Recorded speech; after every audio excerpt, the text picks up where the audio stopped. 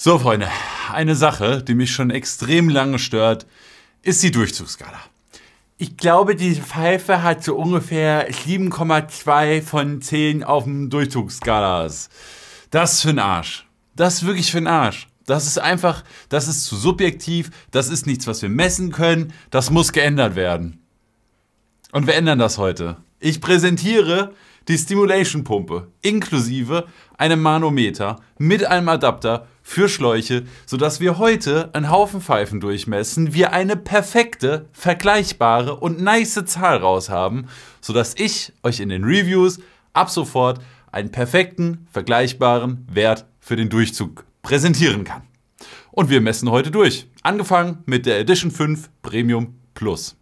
Ist relativ einfach. Hier ist eine Pumpe drin, die kann maximal 45 Liter, äh, die kann maximal 45 Liter die Minute durchsetzen. Ich habe hier ein kleines Manometer.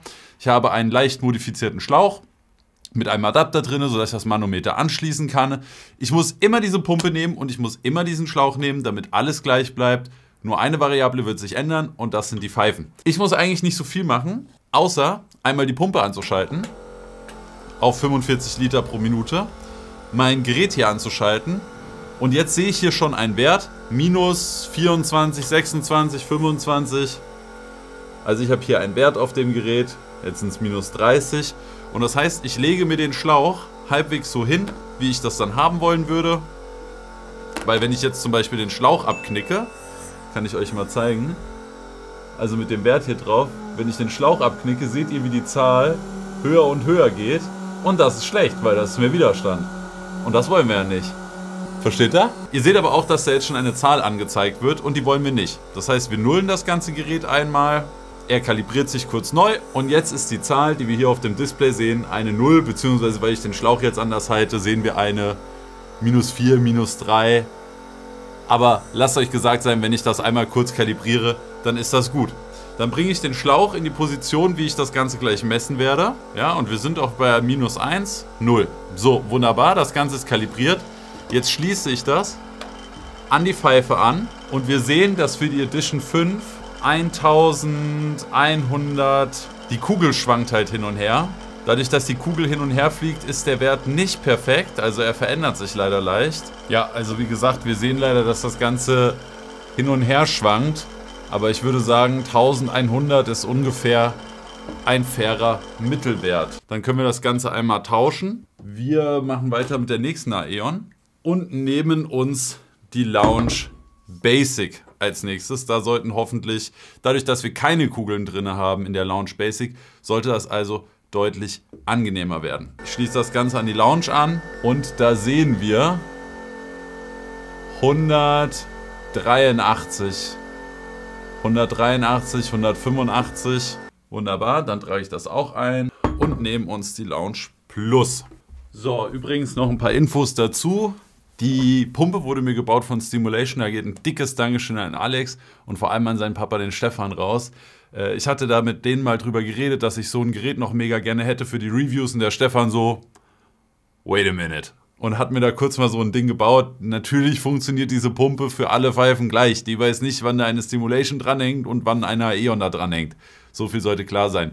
Übrigens, es wird auch immer ohne Wasser gemessen. Beim Wasser entstehen zu viele Fehler, wo ich Probleme schaffen könnte. Es wird einfach nur immer der Widerstand von der Pfeife ohne Wasser gemessen. Vielleicht hätte ich bei der einen mal zu viel Wasser drin, bei der anderen zu wenig. Wie sich ein Diffusor beim Rauchen anfühlt, könnte dementsprechend auch anders sein. Ein Diffusor kann sich vielleicht auf der Durchzugsskala mit einem schlechteren Pascal-Wert äußern, fühlt sich aber in echt gut an beim Rauchen. Und am Ende des Tages ist das Gefühl, was ihr ganz subjektiv beim Rauchen habt, eh das Wichtigste. Dann ist egal, was in meiner Liste steht, wie viel Durchzug die Pfeife hat. Hauptsache, es gefällt euch. Aber damit ich einen vergleichbaren Wert habe für die Reviews, ist das der beste Weg. Gut, wir machen weiter. Edition 5 Lounge Plus, da wird es jetzt ein bisschen komplizierter. Bei der Premium haben wir es jetzt einmal Basic gemacht, ohne Durchzugsverstellungsfeature, by the way, da drin. Lounge Plus wird jetzt komplizierter. Ich habe jetzt den Molassefänger drin. Ich habe das Durchzugsverstellfeature drin, aber auf der offensten Stelle. Und ich habe den Diffusor dran. Und wir werden jetzt mehrere Messungen mit dieser Pfeife machen, um zu gucken, wie viel Durchzug welches Feature kostet. Okay? Das machen wir jetzt. Also einmal wieder Nullen und Attacke. Wir haben mit Molassefänger Durchzugsverstellung und Diffusor einen Wert von 680 Pascal. Jetzt wird die Pfeife umgebaut und als erstes entfernen wir bei der Pfeife einfach mal den Molassefänger. Und es zählt übrigens auch nicht die Stelle des kleinsten Durchmessers. Das sind Widerstände, wie, in, wie bei der Elektrizität. Wenn du mehrere Widerstände hintereinander setzt, addieren die sich natürlich. Und dann schließen wir das Ganze an und wir sehen, wir sind nur noch bei 362. Also da seht ihr, was allein der Molassefänger ausmacht. Jetzt bauen wir als nächstes noch das Durchzugseinstellungsfeature raus. 327, ja, ich würde sagen 327. Jetzt machen wir noch den Diffusor ab, dann sind wir mit der Edition 5 durch. Widerstand vom Schlauchanschluss und die Pfeife hat jetzt noch 180. So, zum Vergleich haben wir jetzt noch eine letzte Aeon und zwar eine Edition 4 Lounge. Und dann schließen wir das Ganze einmal an. Und dann sehen wir, die Edition 4 hat einen Widerstand von 135. 135 nur. Das ist nix. Die neue Mose Breeze Pro. 215. Nehmen wir die Mitte. Breeze 2. Also wenn ich den Schlauch in der Hand habe, verengt er sich schon minimal. Und die Breeze 2 hatte 253. So, also die Breeze Pro nochmal minimal besseren Durchzug als die Breeze 2. Also die Pro etwas verbessert im Vergleich zur Breeze 2. Gut, nächste Pfeife. Und da nehmen wir die Flashbang. Ach, die Flashbang. Wir nehmen als nächstes die Emotion Future. Und die Emotion Future hat 175. So, next one. Flashbang. Was haben wir? 200. Zum Vergleich habe ich auch noch ein paar russische Pfeifen, unter anderem hier die wunderschöne Midnight von El Bomba. Und da sehen wir schon, die russischen Pfeifen, die haben auf jeden Fall einen deutlich schlechteren Durchzug. Da sind wir schon bei einem Widerstand von, nehmen wir 420. Äh, 420, meine ich natürlich. Wir bleiben bei den russischen Pfeifen. Wir nehmen aber jetzt eine russische Pfeife, die meiner Meinung nach einen etwas besseren Durchzug hat. Für russische Pfeifen. Die Alpha. Da machen wir 320 glaube ich, fairer. 320. Also für eine russische Pfeife auf jeden Fall einen Ticken besser, aber immer noch ziemlich geschlossen. Und wo wir schon von russischen Pfeifen haben, nehmen wir noch diesen Trümmer hier. Der passt gar nicht ganz auf die Cam. Das ist eine MacLeod. Oh, trotz Größe weniger Widerstand als eine L-Bomber. Da sind wir bei 390. Krass. Dann habe ich zum Vergleich noch eine Tradi. Allerdings muss ich bei der Tradi dazu sagen, dass das die ATH-Tradi ist und die hat für einen Tradi-Durchzug schon einen relativ offenen Durch. 297 würde ich sagen. Stimulation Ultimate, die darf natürlich auf dieser Liste nicht fehlen. Und da sehen wir, die Ultimate hat 408. Trotz alle Kugeln drin, aber zum Spaß kann ich euch mal was zeigen. Das äh, stufenlos verstellbare Durchzugssystem. Oh, oh, oh. Jetzt habe ich fast komplett gekillt den Durchzug. Mal wieder schön aufmachen.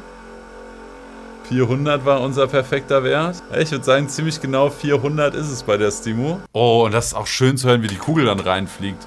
Die flattert nämlich nicht wild rum. Das ist dieses Moon Gravity, ne? Die legt sich da schön drauf ab und wenn ich jetzt ausmache, hört mal, ob ihr so ein Klacken hört vielleicht. Ich weiß nicht, ob man es auf der Kamera hört, aber ich höre auf jeden Fall nice, wie Moon Gravity da richtig schön dann plopp. Sehr gut. Next one, Pro X Mini 327. Die Expansion Mini. Oh, ist das Highscore? Nee, fast. Die Expansion Mini hat 145 und unser Highscore geht immer noch an die Edition 4 Lounge. Mit Kugel 532. Evoke Mini mit Kugel 734. Und ohne Kugel nur noch 182. Da sieht man, was so eine riesen Metallkugel für den Durchzug tut. Aber muss halt drin sein, ne? Bei Ropenta, sehr schön, 181. Bei Roversa, 172. Evoke groß, 640. Und ohne Kugel nur noch 158. Nice. Mose Sphere 2. Uiuiui. 164. Die Prime Pro X. 245. Die Case Grid. Oh, der Schlauch ist abgeknickt, das ist nicht fair. Und da haben wir 253. The Hooker Venom 260. Und dann haben wir noch eine Aladdin Epox 360. 314. Alright, das war's mit dem Durchzugstest. Die Tabelle ist für euch unter dem Video verlinkt. Lasst mich gerne wissen, was ihr darüber denkt. Ich bin super happy, dass wir das jetzt am Start haben, dass ich nicht einfach mehr irgendwas erzähle und euch von meinen Gefühlen und ich habe einen messbaren Wert. Ich finde es geil. Ich hoffe, ihr auch. Danke fürs Zusehen. Gerne einen Daumen nach oben für dieses Gerät, für dieses Video, für die Messungen. Bis zum nächsten Mal. Eure Shisha WG.